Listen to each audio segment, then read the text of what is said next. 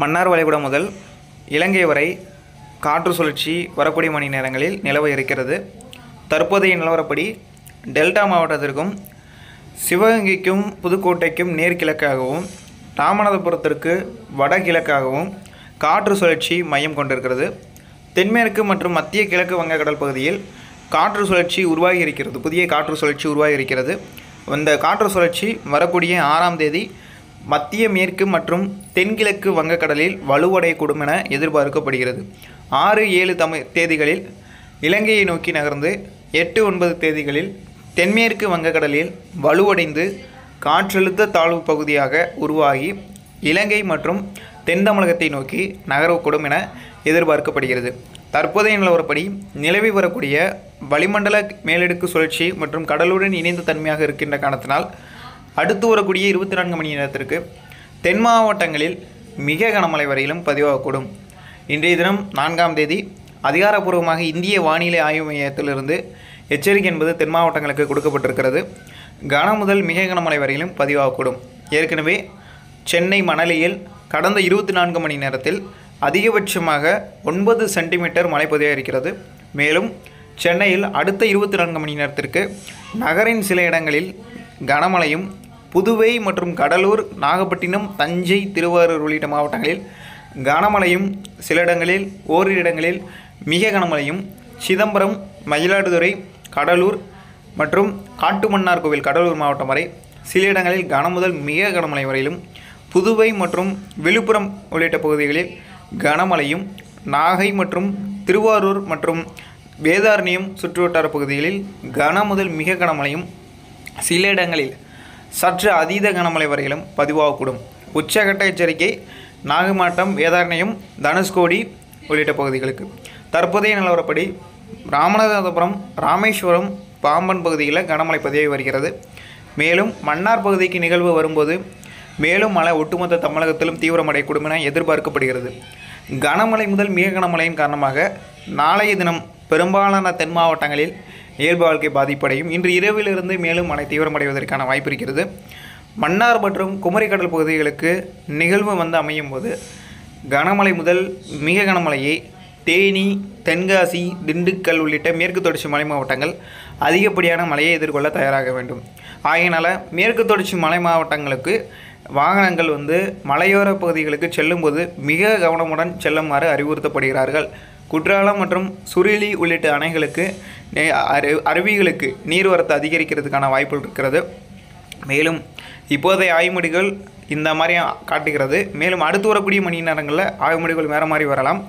அதனால் நம்ம தொடர்ந்து இருபத்தி நான்கு மணி நேரமும் கண்வெளி தாய்வு செய்து உங்களுக்கு அறிக்கை கொடுத்து கொண்டு இருக்கிறோம் அனைவருமே முத்துசெல்வம் மதர்மன் யூடியூப் சேனல் பக்கத்தை எல்லாருமே மறக்காமல் சப்ஸ்கிரைப் செய்து கொள்ளுங்கள். சப்ஸ்கிரைப் செய்த பின்னர் ஆல் என்கின்ற பில் பட்டனை தொட்டு சப்ஸ்கிரைப்டாக மாற்றிக்கொள்ளுங்கள் உங்களுடைய நண்பர்களுக்கும் ஷேர் செய்து அவர்களையும் சப்ஸ்கிரைப் செய்து சொல்லுங்கள். நிறைய பேர் வந்து பார்க்குறீங்க நிறைய பேர் கமெண்ட் பண்ணுறீங்க நிறைய பேர் லைவ் சேனல் கேட்குறீங்க. ஆனால் மறக்காமல் எல்லாருமே சப்ஸ்கிரைப் பண்ணணும் என்பதையும் தெளிவாக குறிப்பிட்டுக் கொள்கிறேன் நீங்கள் சப்ஸ்கிரைப் பண்ணுறீங்களா இல்லையான்னு மறக்காமல் லைவ் சேட்டில் பதிவு பண்ணிக்கோங்க. தென்காசி மற்றும் திருநெல்வேலி உள்ளிட்ட மாவட்டங்களில் அணைகளுக்கு நீர்வரத்து கொடுக்கக்கூடிய இடங்களில் வரக்கூடிய மணி நேரங்களில் மிக கனமழை இருக்கலாம். பாபநாசம் உள்ளிட்ட பகுதிகளில் மிக கனமழை இருக்கலாம். இந்த பகுதியில் ஒரு இடங்களில் பத்திலிருந்து பதினைந்து சென்டிமீட்டரும் ராமநாதபுரம் தூத்துக்குடி திருநெல்வேலி கன்னியாகுமரி உள்ளிட்ட மாவட்டங்களில் அதாவது ஓரிரு இடங்களில் பதினெட்டு சென்டிமீட்டர் முதல் இருபத்தைந்து சென்டிமீட்டர் வரையிலும் அடுத்து வரக்கூடிய இரண்டிலிருந்து மூன்று நாட்களுக்கு எதிர்பார்க்கப்படுகிறது. இந்த கடலோர தென்னாமலக கடலோரம் டெல்டா கடலோர பகுதிகளில் அடுத்த நான்கு நாட்களுக்கு கனமழை தொடரும். மிக கனமழை அடுத்த மூன்று தினங்களுக்கு தென் மாவட்டங்களிலும் டெல்டா மற்றும் தெற்கு டெல்டா பகுதிகளில் தொடர்வதற்கான வாய்ப்புகள் இருக்கிறது. மீனவர்களுக்கான எச்சரிக்கை பொறுத்தவரையில் மன்னார் வளைகுடா குமரி கடல் பகுதிகளில் பலத்த காற்று வீசி வருகிறது. கடலுக்கு மீன்பிடிக்க செல்லும்போது எச்சரிக்கையுடன் இருக்கணும். மத்திய மேற்கு வங்கக்கடல் பகுதிகளிலும் பலத்த காற்று வீசுகின்ற காரணத்தினால அந்த பகுதிகளுக்கு மீனவர்கள் எச்சரிக்கையாக மீன்பிடிக்க செல்ல வேண்டும். பாம்பன் தனுஷ்கோடி உள்ளிட்ட பகுதிகளில் இடியுடன் கூடிய கனமழை இருக்கிறதன் காரணமாக எச்சரிக்கையாக மீனவர்கள் இருக்கணும் என்பதையும் அறிவுறுத்தப்படுகிறார்கள். மேலும் வரும் ஏழு எட்டு ஒன்பது தேதிகளில் தென்கிழக்கு வங்கக்கடல் பகுதியில் பலத்த சூறாவளி காற்று வீசக்கூடும். ஆயினால் அந்த பகுதிகளுக்கு மீனவர்கள் மீன்பிடிக்க செல்ல வேண்டாம். வடகடலோரம் டெல்டா கடலோர பகுதிகளில் சூறைக்காற்றின் மணிக்கு வேகம் என்பது ஐம்பதுலேருந்து அறுபது கிலோமீட்டர் வரையிலும் இருப்பதற்கான வாய்ப்புகள் இருக்கிறது. வடகிழக்கு திசையிலிருந்து காற்று இருக்கலாம். அதனால் எச்சரிக்கையாக இருக்கும்படி கேட்டுக்கொள்ளப்படுகிறார்கள். குமரிக்கடல் மற்றும் இந்திய பெருங்கடல் பகுதிகளிலும் சூறைக்காற்றின் வேகம் ஒன்பது பத்து பதினொன்று தேதிகளில் அதிகமாக இருப்பதற்கான வாய்ப்பு இருக்கிறது. மீனவர்கள் இந்த பகுதிகளுக்கு மீன்பிடிக்க செல்ல வேண்டாம். அரபிக்கடல் பகுதிகளில் தென்கிழக்கு அரபிக்கடல் பகுதிகளில் வரும் அடுத்து வரக்கூடிய இருபத்தி நான்கு மணி நேரத்தில் குறைந்த காற்று அழுத்தம் அல்லது சுழற்சி உருவாகிறதுக்கான வாய்ப்பு இருக்கிறது. இது அடுத்து வரக்கூடிய நாற்பத்தெட்டு மணி நேரத்தில் தீவிரமடைந்து ஒன்பது பத்துக்கு தேதிக்கு மேலே வரக்கூடிய நிகழ்வோடு இணைந்து தீவிரமடைந்த நிலையில் அரபிக்கடல் பகுதியில் ஒரு தாழ்வு பகுதி அல்லது ஒரு தீவிர தாழ்வு மண்டலம் அல்லது ஒரு புயலாக கூட மாறி சோமாலியா நாட்டை நோக்கி நகர இருக்கிறது. அதாவது ஒன்பதாம் தேதிக்கு மேலே வரக்கூடிய நிகழ்வின் காரணமாக தென் தமிழக மாவட்டங்கள் மிக கடுமையாக பாதிக்கப்படலாம். அதாவது இந்த மாவட்டங்களில் ஏற்கனவே இப்போது ஐந்தாம் தேதி பெய்யக்கூடிய மழை நாளைய தினம் பெய்யக்கூடிய மழை ஆறாம் தேதி பெய்யக்கூடிய மழையை பாதிப்பு ஏற்படுத்தும். அந்த மழையை காட்டிலும் இரண்டு மடங்கு நாளை பெய்யக்கூடிய மழை நாளை மறுநாள் பெய்யக்கூடிய மழைகளை காட்டிலும் இரண்டு மடங்கு மூன்று மடங்கு அதிகப்படியான மழையாக வரக்கூடிய ஒன்பதாம் தேதிக்கு மேல் வரக்கூடிய நிகழ்வு இருக்கலாம். ஆனால் அந்த நிகழ்வு தென் தமிழகம் வரலாம் டெல்டாவிற்கும் செல்லலாம் வட தமிழகத்திற்கும் செல்லலாம். ஆனால் உறுதி அல்ல. அதை புரிந்து கொள்ள வேண்டும். உறுதி செய்யப்படலை.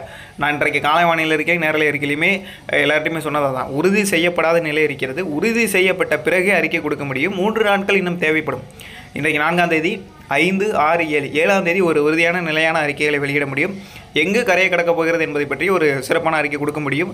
ஜிஎஃப்எஸ் ஃபோகாஸ்டின் அடிப்படையில் வந்து பார்த்திங்கன்னா இன்றைக்கு இலங்கைக்கு கொண்டு வந்து விட்டார்கள். ஜிஎஃப்எஸும் இசிஎ மாடலும் ஒன்றாக காட்டுகிறது. இலங்கை தான் வரப்போகிறது தென் தமிழம் தான் வரப்போகிறது என்பதை உறுதியாகவே காட்டுகிறது. பொறுந்து பொறுத்திருந்து பார்க்கலாம். எப்படி அமைய போகிறது என்பதை பொறுத்திருந்து தான் பார்க்க வேண்டும். ஆனால் எந்த முறையில் எவ்வளோ மழை பெய்ய போகிறது எங்கெங்கெல்லாம் பாதிப்படைய போகிறது என்பதை நம்ம வந்து இப்போதைக்கு ஒரு உறுதியான அறிக்கை கொடுக்க முடியாது. வரும் ஒன்பதாம் தேதிக்கு மேலே வரக்கூடிய நிகழ்வை பற்றி வரக்கூடிய பத்து பதினொன்று தேதிகளுக்கு மேலே நிலையான அறிக்கைகளை கொடுக்க முடியும். அதற்கு முன்கூட்டி சென்னை வானிலை மைய அறிக்கையிலையும் ஐஎம்டியோடைய அறிக்கையும் நம்ம பொறுத்திருந்தால் எதிர்பார்க்க முடியும். ஃபோகஸ்ட் வந்து எப்படி வேணாலும் எந்த சமயங்கள் வேணாலும் மாறலாம் என்பதையும் தெளிவாக நான் குறிப்பிட்டுக் கொள்கிறேன். சப்ஸ்கிரைப் செய்து